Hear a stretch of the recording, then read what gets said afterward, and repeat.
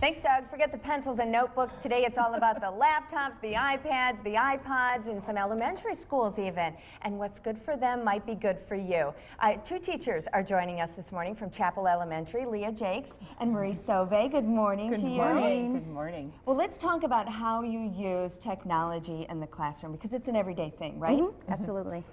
Um, at Chapel School, we um, we have a one-to-one laptop program. So any all the kids, second grade through fifth grade, have their own laptops. So every day the kids are on the laptops. We have a lot of classroom blogs the kids use as a reference point to start at, and then most of their productivity, such as PowerPoints, Word, Excel, they do all online. It's and then we switch to the iPads as we find different apps that apply to what we're doing in our IB candidate units. Okay. All right. So, um, Leah, let's start with you. In kindergarten class, how are the kindergartners using it specifically? Okay, well, in kindergarten, um, sometimes we'll run technology centers because being an IB candidate school, we really want to have the children differentiate their own learning um, to take control of what they need to learn um, and at what levels they need to learn. Um, so we really try to push the iPods and the iPads. Is it like recess for them? Um, you can hear a pin drop sometimes. Oh, really? When they have their headphones on and they're engaged in learning, and it's a beautiful thing.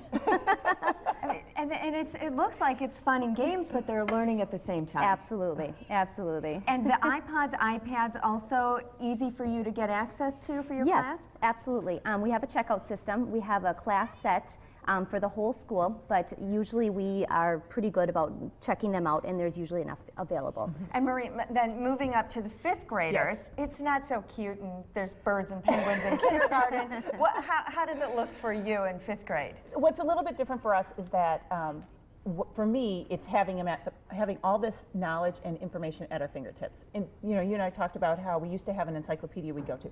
We don't use that. I can have them jump from a World Book online site to okay, now look at this app and look at what it from a different viewpoint. And now let's go to this. The Smithsonian and look at it from this one. So when you're looking for things globally, you have everything right there at your fingertips. It's just amazing. And this one, this is so cool. This is, what's the app, this one that we're It's looking called at? STARS, and we used this during our universe unit where we learned about how the Earth is part of a vast and complex universe, and we were looking at different how constellations change on Yeah. different patterns of the world. Yeah, go out at night and you take your iPad with you and you can see the mm-hmm. constellations. So that one is called Stars. Correct. Now we're going to go back into the kindergarten mm-hmm. class, Leah, and, and some of your favorite apps are really about learning your numbers, learning mm-hmm. your letters, learning to start to read. And the first one that you're going to see is I Write Words. What do they learn from that one? Okay, with the I Write Words, um, they are learning how to form their letters and their numbers. Um, and if you get the letters right, um, it'll show you, and it'll it always does cute little sounds to let you know you did it right. Um, and even if you do it wrong, it'll just kind of squeak at you, and then the kids know, try again. My favorite one is the next one that we're going to see. It's called Word Magic. And if you get it right, it says, awesome. exactly, the kids love that, that to know that they're doing something right. And even if they mess up, they can just try it again.